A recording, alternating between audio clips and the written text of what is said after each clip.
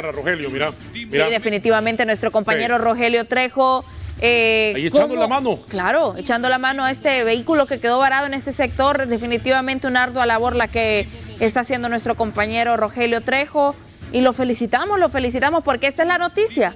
Esta es la fíjate noticia. que, mira, cuando un periodista sabe que su sector bueno, vamos a conectarnos con Daniel Méndez, también acá en la capital. Daniel, un, un tráfico terrible y además, por supuesto, inundados en esta parte del Boulevard Fuerzas Armadas. Buenas noches. Último momento. Buenas noches, Alan. Buenas noches, María Fernanda Martínez, televidentes de HCH Medianoche. Bueno, miren, ve. Miren a esta hora completamente desolado el bulevar de las Fuerzas Armadas. Miren cómo puedo caminar yo normalmente por el bulevar de las Fuerzas Armadas en el carril que viene desde el sector del Carrizal a Vías del Sol. No hay paso. Está completamente bloqueado el paso por una enorme laguna y del otro carril que dirige de la zona oriental al Carrizal, vean ustedes cómo está el tráfico bastante lento, producto de esta enorme laguna que siempre que llueve en la capital de la República, compañeros, siempre se inunda. Hemos caminado, bueno, desde el sector de la Teletón, más o menos aproximadamente, nos bajamos de la móvil para venir caminando y mostrarles a ustedes estas imágenes. Vean ustedes, no hay paso vehicular, de todo tipo está paralizado de todo tipo de vehículo está paralizado, no hay eh, tránsito vehicular por lo mismo porque las eh, tormentas que han caído aquí, precisamente en este sector, han ocasionado inundaciones. De hecho, había un vehículo que estaba varado y que fue sacado, pues, empujado por algunas personas. Bueno, allá viene pasando nomás vehículo pesado. Miren ustedes Vehículo pesado es el único que está transitando.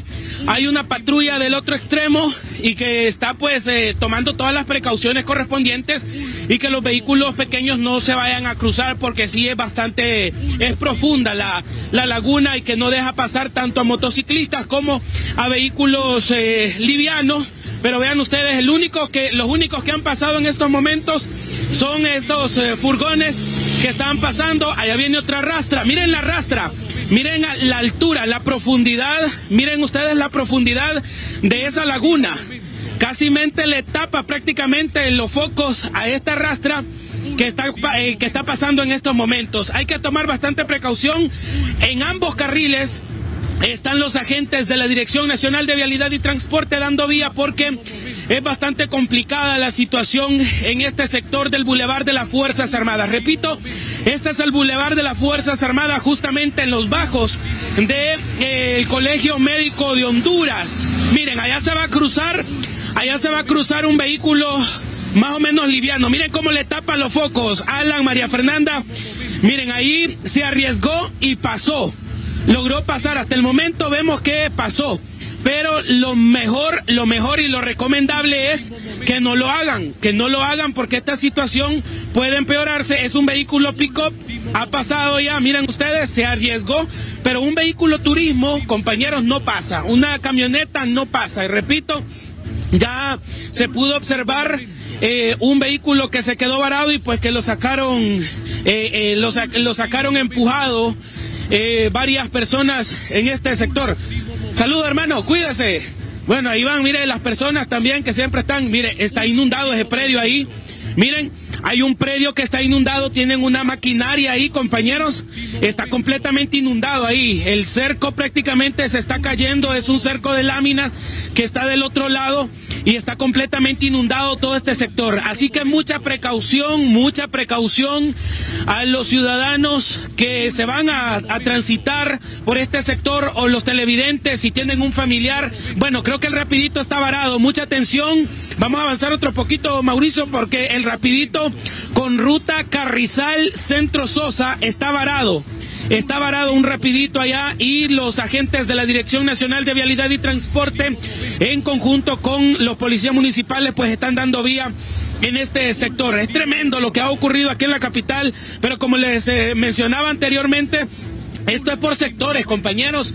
Hay sectores en la capital hondureña en donde si ustedes van, hay polvo en las calles, hay polvo. Y se lo mostrábamos a ustedes en el sector del anillo periférico. Mencionan que están completamente secas las calles, entre otros barrios y colonias de la capital. Pero en este sector donde nosotros nos encontramos, que es justamente en el Boulevard de las Fuerzas Armadas, a la altura del Colegio Médico de Honduras, eh, sí está bastante complicado la situación. Hay un rapidito que quedó ahí atrapado y había también otro bueno, creo que la motocicleta, no sé qué le pasó también, eh, y hay otro vehículo que fue sacado, eh, empujado por todo este sector, pero sí, eh, ya está bajando considerablemente, pero lo más recomendable es que las personas pues busquen rutas alternas para poder circular por este sector. ¿La motocicleta fue producto de la inundación? No, no, no. ¿Cuántos vehículos más o menos varados sacaron?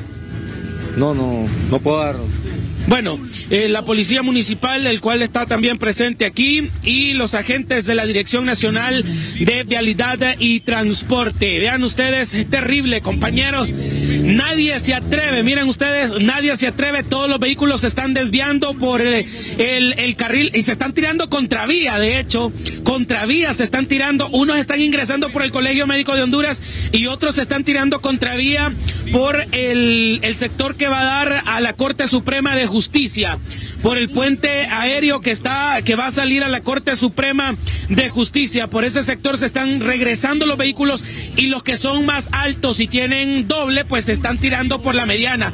Pero así está la situación, miren. Bueno, yo creo que así como soy yo de pequeño, Alan, yo entro ahí y me da arriba de la cintura, por lo menos al, pecho, ¿ah? No. Eh, eh, si anduviera otra ropa, les hiciera la demostración para que vean cómo está la capital hondureña de inundada, porque es tremenda laguna, ahí es tremenda laguna la que se ha formado y pues eh, ha dejado algunos eh, vehículos. Ya vino una plataforma, bueno, será que la patrulla también, miren, van a llevarse una patrulla que está también del otro costado. ¿Será que se pasó también con la laguna inundada y ya no les volvió a encender? Ya en estos momentos la van a subir a esta plataforma, esa una grúa. Bueno, yo pensé que la patrulla más bien estaba dando vía y tomando las precauciones que los ciudadanos no se pasaran, pero también más bien la patrulla está mala producto que se pasó con esta laguna así crecida. Esto ocurre, imágenes completamente en vivo, a esta hora de la noche en el Boulevard de las Fuerzas Armadas, justamente a la altura del Colegio Médico de Honduras, en los bajos del Colegio Médico de Honduras, en donde está completamente inundado este carril. Ya del otro lado,